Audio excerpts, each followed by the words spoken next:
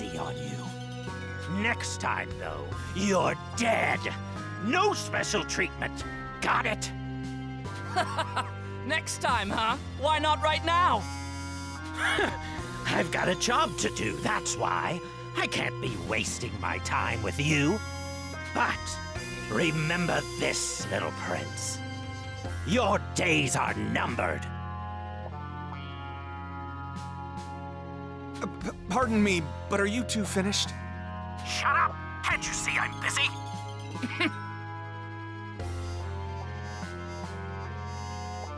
Well, glad that's over with. He was running his mouth, so all I did was put him in his place.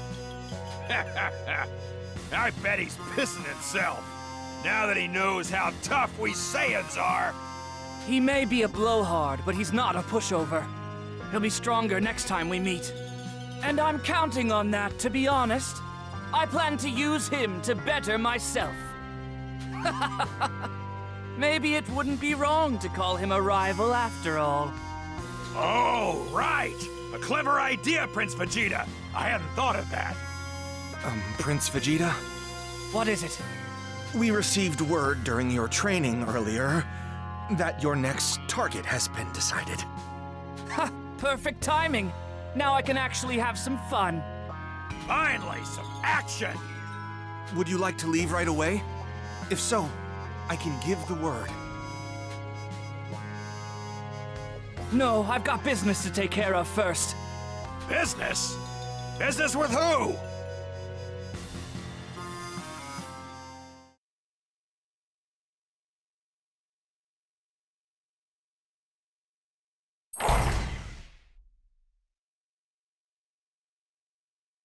What do you want? Yeah, what are you doing here? See, this ain't no place for chumps like you, you know. I'm here to pay my respects to Lord Frieza before I depart. There's no need. Just head to the target planet. I don't mind, Zarbon. Sorry, Lord.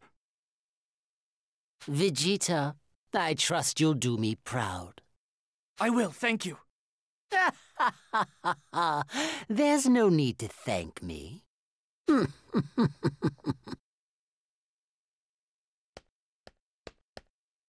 What did Lord Frieza say? He said he trusts us to do him proud. Ha ha! Do him proud, huh? Well, that shouldn't be too much of a problem for me and you. Ha ha!